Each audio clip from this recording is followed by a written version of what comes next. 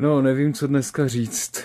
Dnešek byl pro mě docela zkouškou, abych stihnul všechny pracovní úkony a zvládnul koordinaci eh, prací na střeše. Eh, každopádně eh, mám 20 dní za sebou normálně a zítra je první jarní den.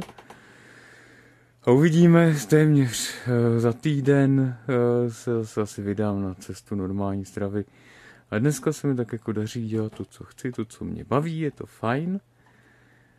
A jediné, co bych měl na sebe naprášit, asi je, že včera jsem pil rýžový nápoj.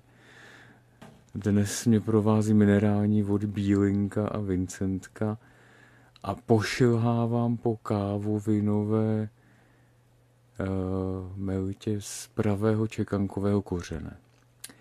Což nevím, jestli jako to k té rýžové dietě úplně patří, ale když se to nepřežene, tak snad to nějak jako bude v pohodě.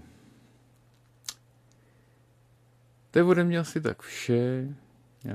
Přeji vám krásné dny, zdravím kamarády, humí a těším se na další dny s rýží.